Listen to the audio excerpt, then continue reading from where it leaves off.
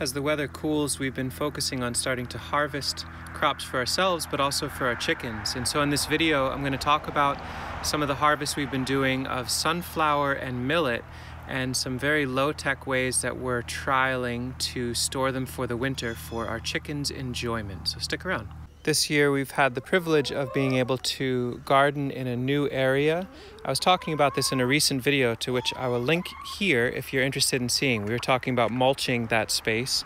And in that garden, we planted lots, uh, to us, lots of sunflower, a fair bit of millet, and a whole bunch of corn for ourselves, as well as some butternut squash. And so now we're bringing these crops back to our hens and trying to figure out the best way to have them be able to enjoy them now, but then also preserve some for later on in the winter. Certainly the easiest thing to do in the short run is to simply cut the sunflower heads and drop them on the ground. The hens are very willing to work with that situation. And it's nice because some of them flip upside down and then we can flip them over and they will peck out every last seed. So when we were in the field yesterday, I was going through and harvesting with a little pair of uh, hand pruners heads of sunflowers that were really nice that I thought we could tie up and try to actually cure for the winter. And then this grade, which we can simply put down for our hens.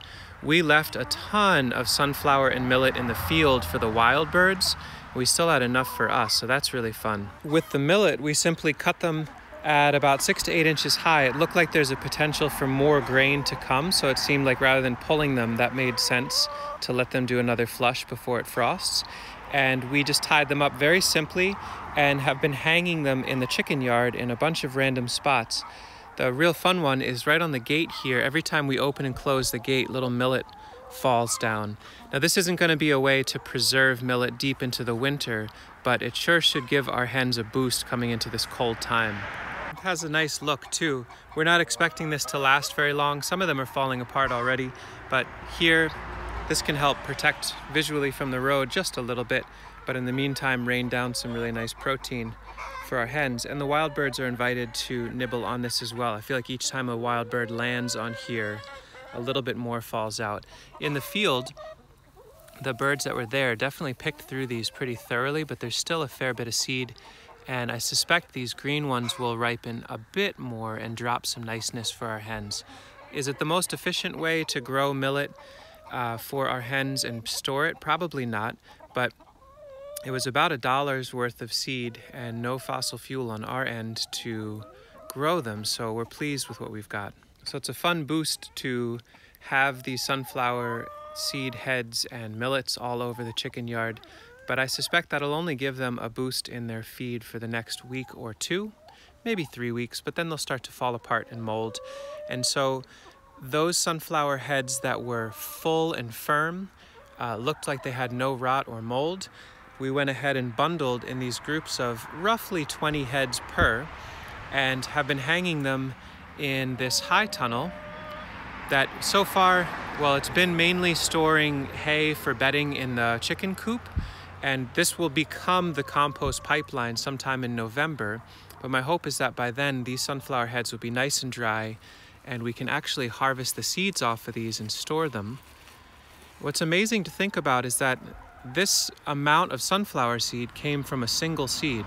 It's a pretty massive increase. My thought too is we could have these hang for now and then when it gets very cold, transfer these into the chicken coop and then when it's uh, snowy outside just simply come through a snips and snip ahead and let the hens do the rest. They can work them pretty nicely. If I knock a little bit out the hens know very quickly where to go and what to do. You can see this first bundle that I hung. This hen is demonstrating for us. If you can believe it two days ago Every one of these heads was completely full, so the hens are having a lot of fun.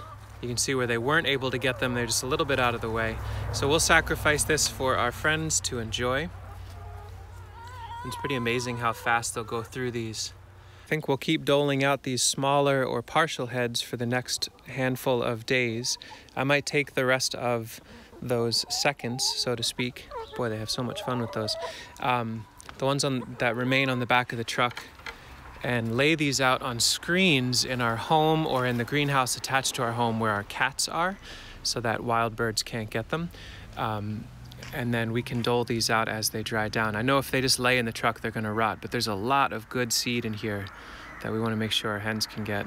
And it's also easy and fun to take some of these heads and simply poke them through the fence in two spots through the chicken wire, stable enough to carry the weight of a small bird so they can land and peck at these. So probably about half of what's in the truck we can weave through our fence here and a huge percentage still remains in the field for the wild birds that are down the road.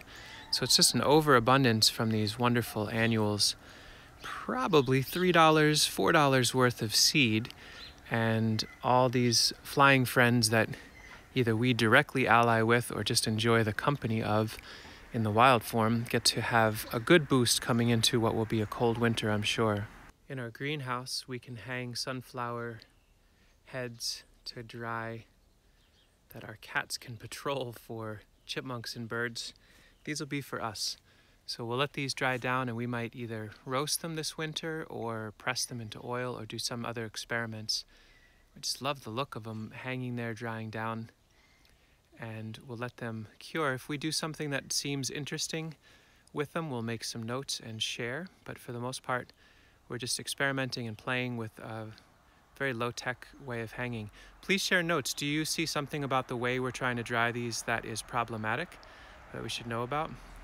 This feels like the time of year where there's not enough hours in the day to try to get out and collect and cure all the food, all the effort we put through uh, this summer, all the effort the plants put to make these amazing foods for us to survive and enjoy the winter.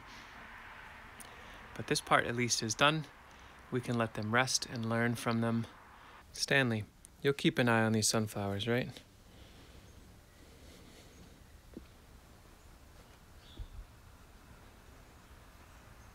Got to get some outside time today. We'll walk around with you.